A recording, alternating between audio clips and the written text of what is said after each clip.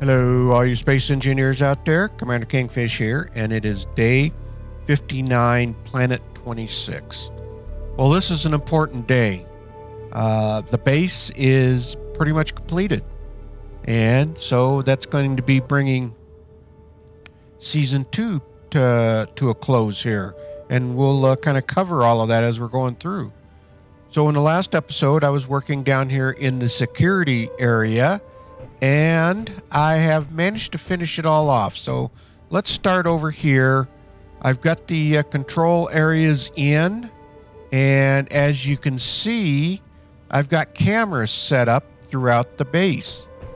So if we hop in over here and we look down, you can see that I've got the different cameras identified on the monitor here on the control seat.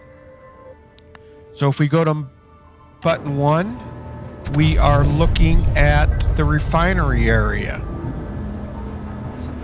If we go to number two, we are looking out over the complex where we've got the security and the medical, uh, the entertainment and whatnot, the living quarters.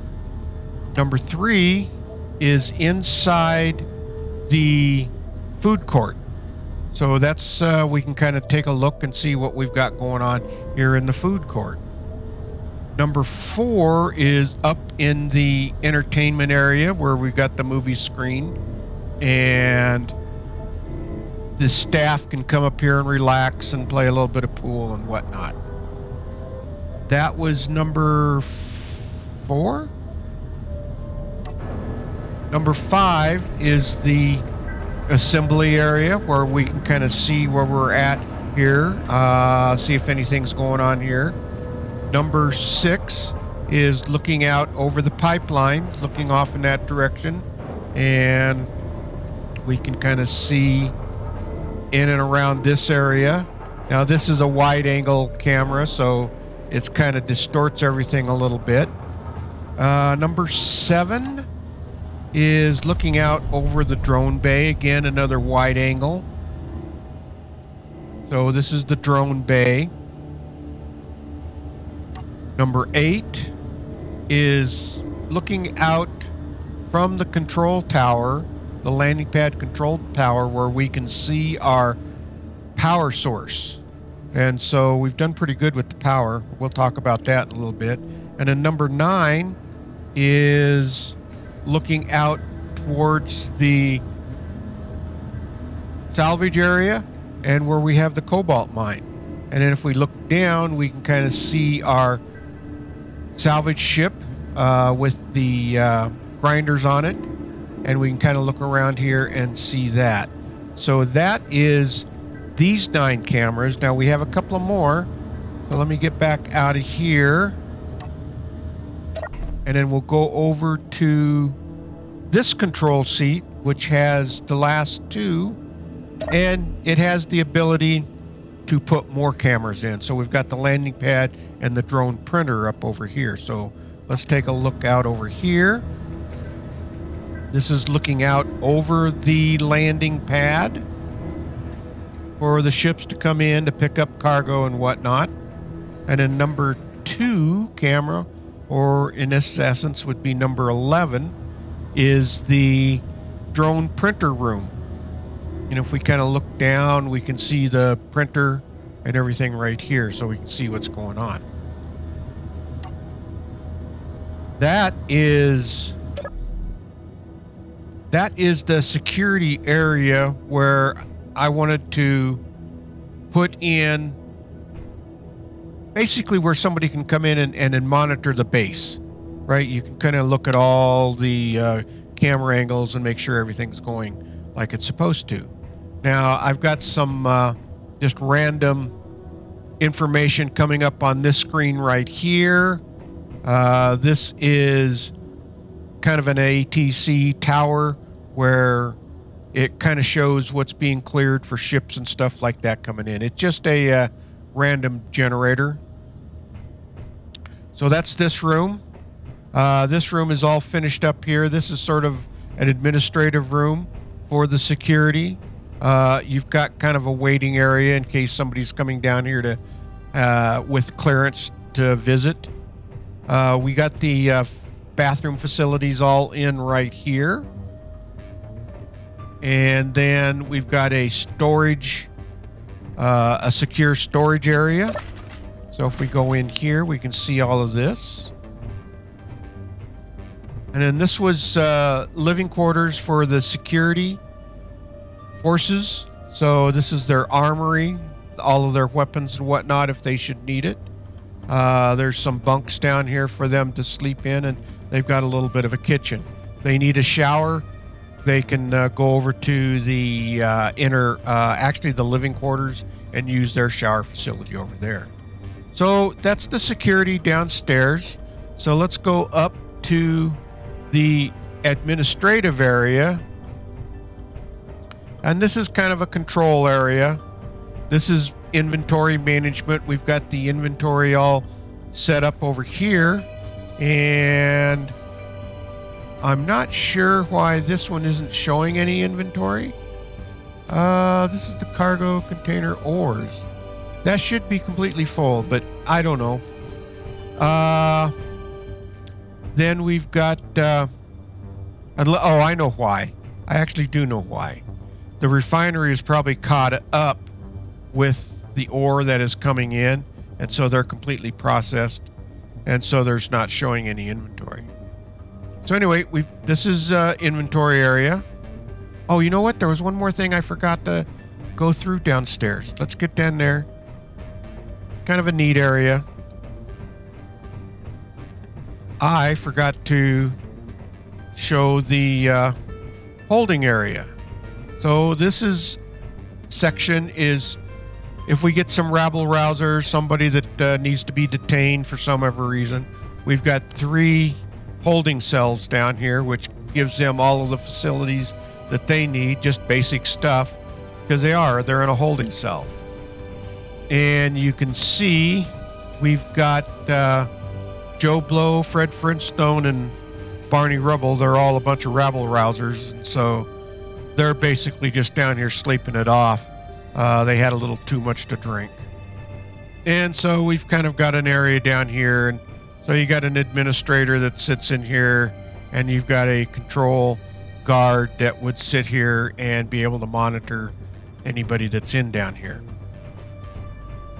So now we are complete down here.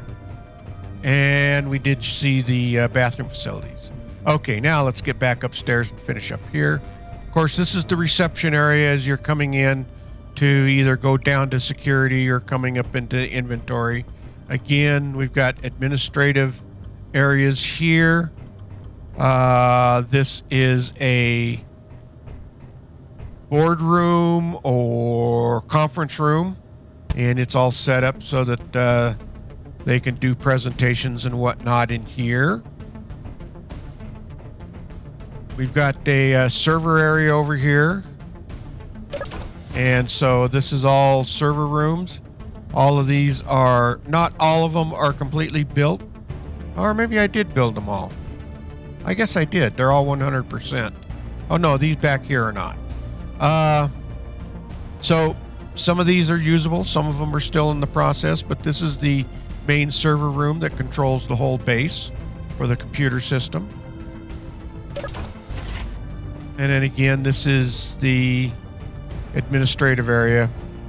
You've got to have somebody that does the paperwork. All right, that is the security and control area. So let's go look at the living quarters again. Kind of do a walkthrough over here. Again, you can kind of see the pipelines going out. I've got a couple of those. That one over there in the distance goes out to the iron mine.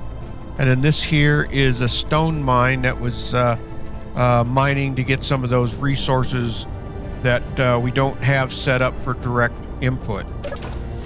All right, so here is the living quarters.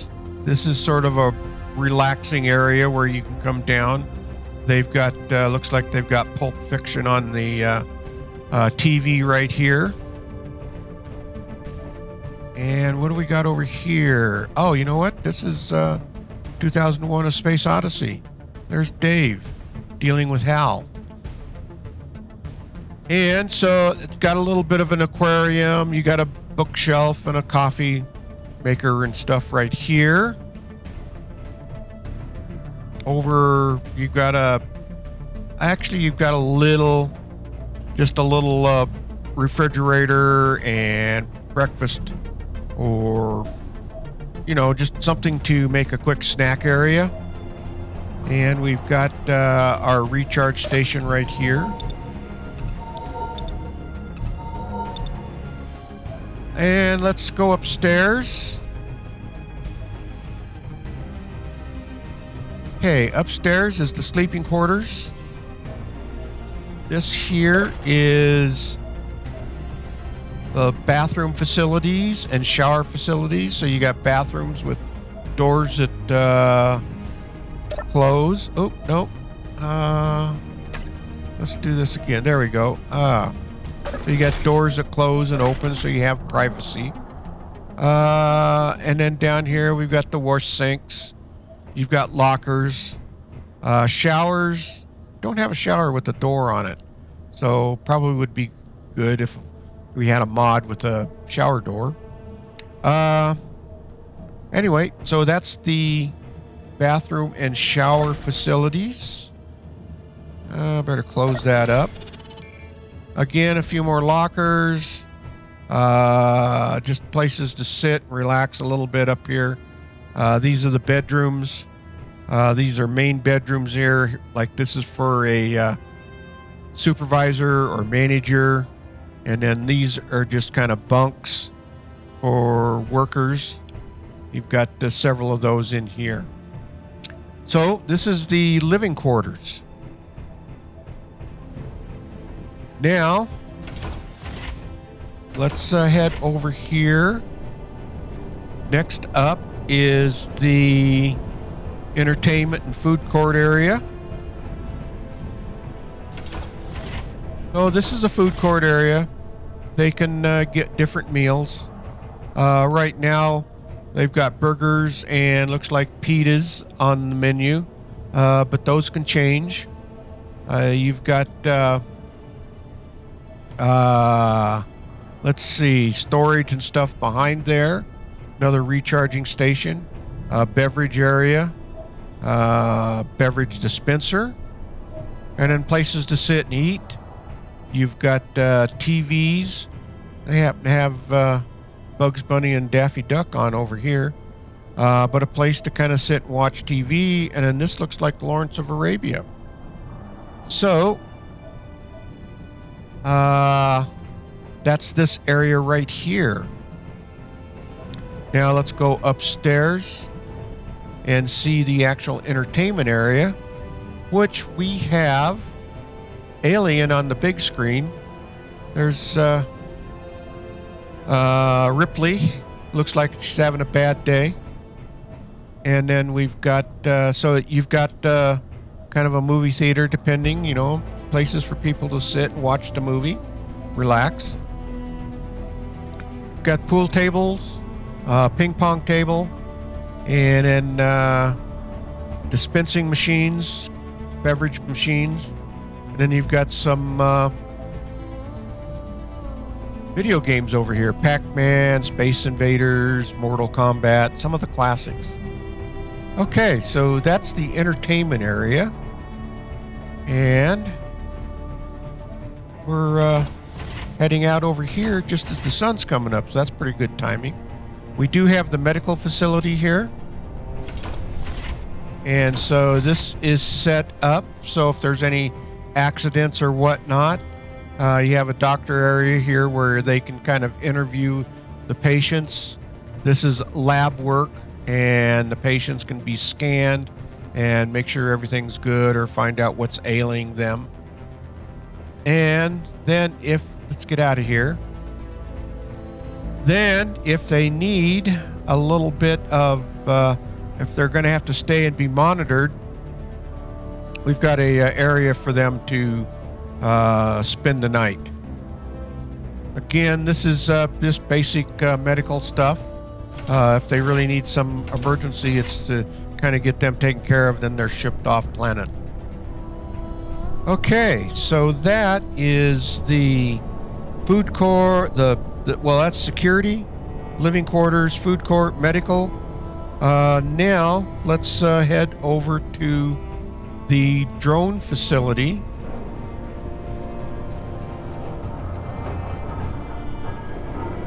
So we've got uh, the drone facility in. This is a long time ago. Uh, there's the pipeline going out to the iron mine. Uh, we put this in. This is a drone printer, so it will print off drones, and then they can be dispersed out from here. Uh, pretty nice facility. We printed off. We did print off a couple of drones, and so we've got uh, these drones were set up for. Uh, you can send them off, and they will uh, automatically go grab uh, materials at the different mines and come back. And so it's basically just a drone. And it did work pretty good. It took a bit to get it all set up. But this is the drone facility over here and the drone docking bay. Uh, we can uh, get up access to the roof up here where we've got the antennas and we can look out over the base a little bit do some work i probably should have put railings and stuff in uh, up here, but uh, just needed to be safe. And then we're looking out over our power facility. So let's uh, see if we can just kind of hop down through here. Uh, there we go. Uh, so this is our power facility.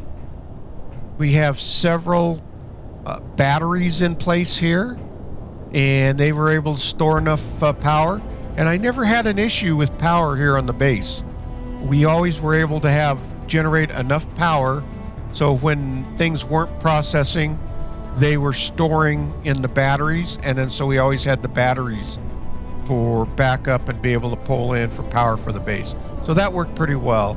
And then this is a little bit of a docking station. Uh, this is the original uh, drop pod I turned it into a little slight rover to find where they had marked out for the big uh, rover that we have here. Uh, but I had to make my way over. I think it was somewhere in the neighborhood of uh, 50 or 60 kilometers away is where we dropped. So we had to make our way over here to where this base was going to be put in. Uh, so that is the drone facility power. So now let's get over to our refinery area. The refinery area, we have two refineries in. So this is a storage bin cargo container for the raw ores that are coming in. So if we look at this, so the ores are coming in and this is where the ore is stored. And then that's pulled into the refineries right here, which is then processed and the ingots go and are stored in this uh, cargo container here. Now, nothing can get pushed back through, so the only thing that is getting stored in here is ingots, the way we have this set up uh, with the conveyor system. We also have a sifter, which will process the excess gravel that comes out and salvage any trace materials such as gold and uranium and stuff like that. So, the, and then that pushes it back through to the refineries, and then they get processed, and then that goes on into the ores. And then from here, we have our assembler area. This is where all the parts are made from the materials, from the ores. And again, this is one way. Uh, there's one of the cameras that I've got set up in here. So the again, everything is all one way. Uh, the ores and ingots, the ores can only get uh, come in through to the refineries, and then the refineries can only push the processed ingots into there, and then the assemblers can only push in or pull in the ingots. They can't push parts back out. So this is all streamed into here. Uh, so the processors or the assemblers pull the necessary materials in and they come in and then any of the processed parts are stored in this cargo container which is also where the salvage ship that comes in when it's out salvaging it will deposit the parts and stuff that it salvages into that cargo bin to make them available. And then this is our salvage ship. It's got a couple of grinders on it uh, you can see on the distance we've put uh, base defenses in. We've got a base defense there. Uh, there's one there, and then there's one back over there that you can see off in the distance. I left a couple of more. The maintenance crew, the permanent maintenance crew that's going to come into this base, will finish finish that stuff off. Uh, let's see here. So that's uh, similar salvage. Okay, so we've got the control room and the landing pad. And we actually have a working elevator. So let's come over here. And let's go up to... Well, we'll go all the way up to the control tower first. And all the way up. And here we are inside the control tower. And this is where this control tower monitors any air traffic coming in. So they would uh, direct on which bay to go into and that sort of thing. So this turned out pretty well. I was pretty happy with this. They've got their own little server uh, dedicated here for them. And so you can see that uh, you look out, you've got a see any of the aircraft that's flying out and about on all directions here. So that was kind of the idea behind the control tower. And so let's go down to the landing pad. Down one floor. There we go. Now we got three bays in.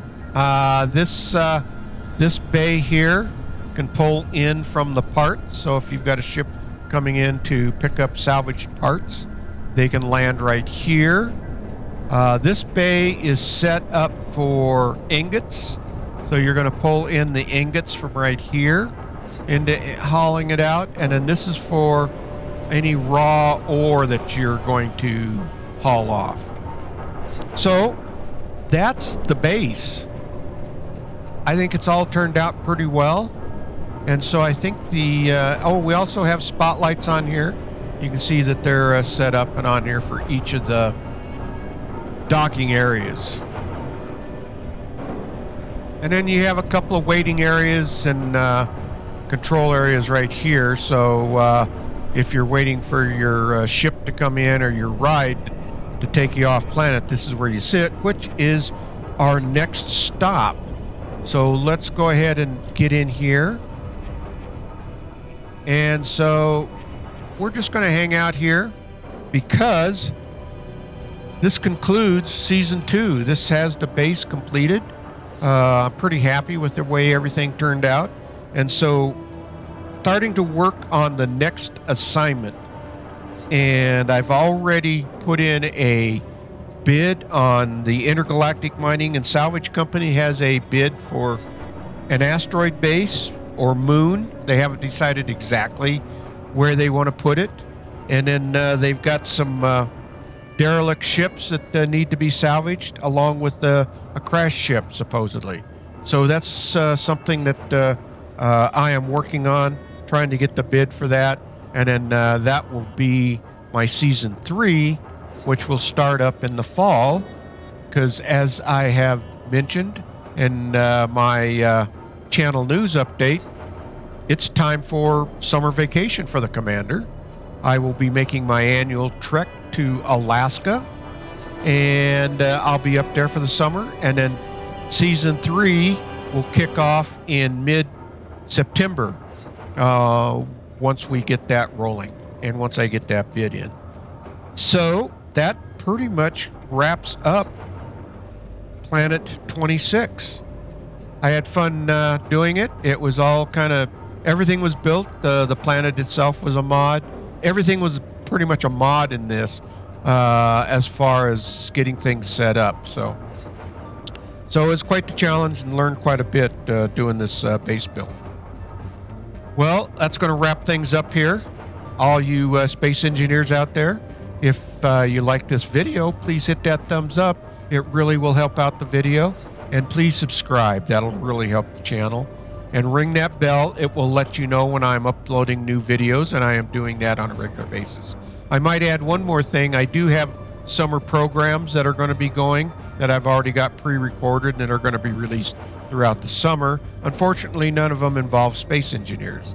So, uh, but again, that'll all pick up in September.